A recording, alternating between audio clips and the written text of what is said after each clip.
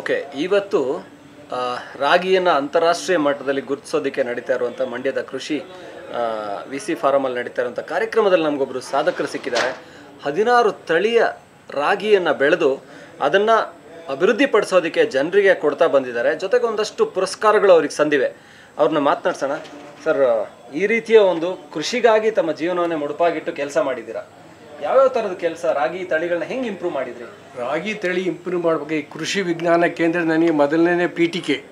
ಸಾವಿರದ ಒಂಬೈನೂರ ಅರವತ್ತೆರಡನೇ ಇಸ್ವಿಲಿ ಇಲ್ಲಿ ಹತ್ತು ದಿನದ ಕಾರ್ಯಕ್ರಮಕ್ಕೆ ಬಂದು, ಆಗ ಜಪಾನ್ ಮಾದರಿ ಭತ್ತ ತಳಿ ಬಗ್ಗೆ ಇಂಡಾಫ್ ರಾಗಿ ತಳಿ ಬಗ್ಗೆ ಮತ್ತು ಎನ್ ಪಿ ಕೆ ಗೊಬ್ಬರದ ಬಗ್ಗೆ ಮಾತ್ರ ಮಾಹಿತಿ ಕೊಟ್ಟರು ಅಲ್ಲಿಂದ ನಾನು ಏನಾರ ಒಂದು ಸಾಧನೆ ಮಾಡಬೇಕು ಅಂತ ಇಲ್ಲಿಂದ ಊರಿಗೆ ಹೋದಾಗ ಮತ್ತೆ ಅಲ್ಲಿ ನೀರಾವರಿ ಸೌಲಭ್ಯ ಇರಲಿಲ್ಲ.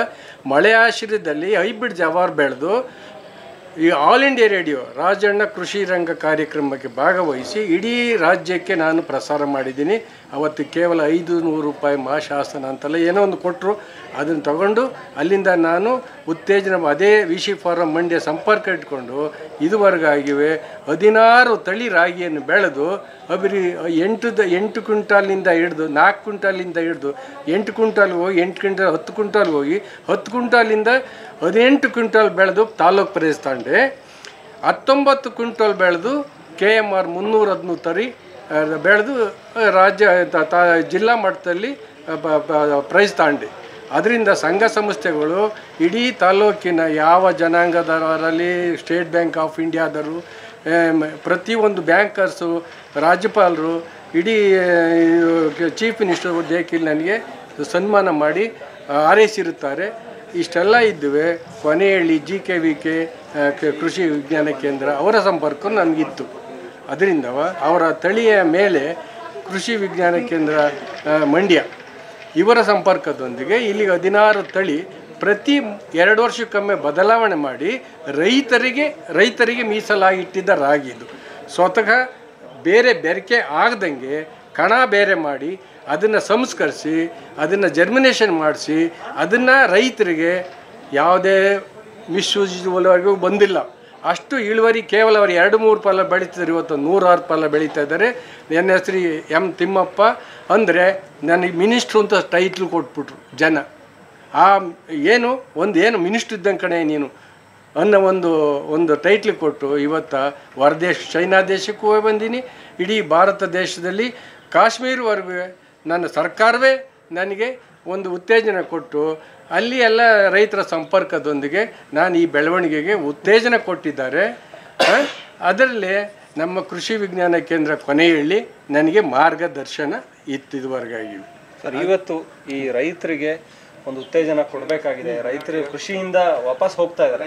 ಸೊ ಜಾಸ್ತಿ ರೈತರನ್ನ ಕೃಷಿ ಕಡೆಗೆ ಕಳಿಸ್ಬೇಕು. ಒಂದಷ್ಟು ಹೊಸ ಹೊಸ ತಳಿಗಳು, ಅದರಿಂದ ಜಾಸ್ತಿ ಇಳುವರಿ ತೆಗೆಯುವಂಥದ್ದು. ಇದಕ್ಕೆ ಏನು ಹೇಳ್ತಾರೆ? ರೈತರಿಗೆ ಏನು ನೀವು ಮಾತುಗಳನ್ನ ಹೇಳಕ್ ಇಷ್ಟಪಡ್ತೀರಾ? ಕೃಷಿಯಲ್ಲಿ ಮುಂದುವರಿಯಿರಿ ಅಂತ. ಕೃಷಿಯಲ್ಲಿ ನಂಬಿಕೆ ಬೇಕು ಮೊದಲು. ಆಸಕ್ತಿ ಬೇಕು. ಅನಂತರ ನಾವು ಏನು ಬೆಳಿತೀವೋ ಅದ್ರ ಮೇಲೆ ಮೂಲ ಇರಬೇಕು. ಅದನ್ನ ಏನಾರ ಮಾಡಿ ಬೆಳಿಬೇಕು ಅನ್ನೋ ಆಸಕ್ತಿ ಇರಬೇಕು. ಕೇವಲ ಎದ್ರಿಕೊಂಡು ಹೋದ್ರೆ ರಾಗಿ ಬೆಳೆಯೋಕ್ಕಾಗಲ್ಲ.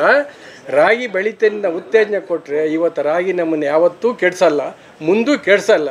ಅದರಿಂದ ನೀವು ರಾಗಿ ಬೆಳೀರಿ, ಇನ್ನು ಮುಂದೆ ಅದಕ್ಕೆ ಬೇಡಿಕೆ ಇರುವಷ್ಟು ನಿಮ್ಮ ತೆಂಗು, ಅಡಿಕೆ, ಬಾಳೆ, ಭತ್ತ ಒಂದು ಯಾವುದಕ್ಕೂ ಸಿಗಲ್ಲ. ಮುಂದೊಂದು ದಿವಸ ರಾಗಿಗೆ ಬೆಲೆ ಸಿಗುತ್ತೆ ಅಂತ ಹೇಳಿ ನಾನು ಘಂಟಾಘೋಷವಾಗಿ ಹೇಳ್ತಾ ಇದ್ದೀನಿ. ರಾಗಿ ಬೆಳೀರಿ.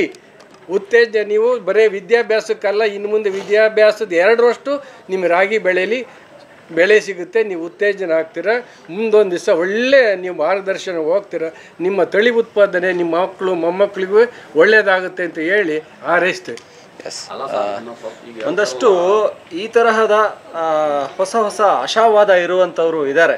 ಸೊ ನೀವು ಇಂಥವ್ರನ್ನ ಭೇಟಿ ಆದರೆ ಖಂಡಿತ ಹೊಸ್ತನ್ನ ಏನು ಕೃಷಿಯಲ್ಲಿ ಏನು ಮಾಡ್ಬೋದು ಹೊಸ ಎಕ್ಸ್ಪೆರಿಮೆಂಟು ಏನನ್ನ ಬೆಳಿಬೋದು? ಆ ಯಾವ ಬೆಳೆ ಮೂಲಕ ನಾವು ಹೆಚ್ಚಿನ ಇಳುವರಿ, ಹೆಚ್ಚಿನ ಒಂದು ಬೆಲೆಯನ್ನು ಪಡ್ಕೋಬೋದು ಅನ್ನೋದು ಕೂಡ ಗೊತ್ತಾಗುತ್ತೆ. ನೋಡಿ, ಒಂದಷ್ಟು ಸಾಧನೆಗಳನ್ನ ಮಾಡಿ, ಅವರು ಒಂದಷ್ಟು ಪುರಸ್ಕಾರಗಳನ್ನ ಪಡ್ಕೊಂಡಿದ್ದಾರೆ.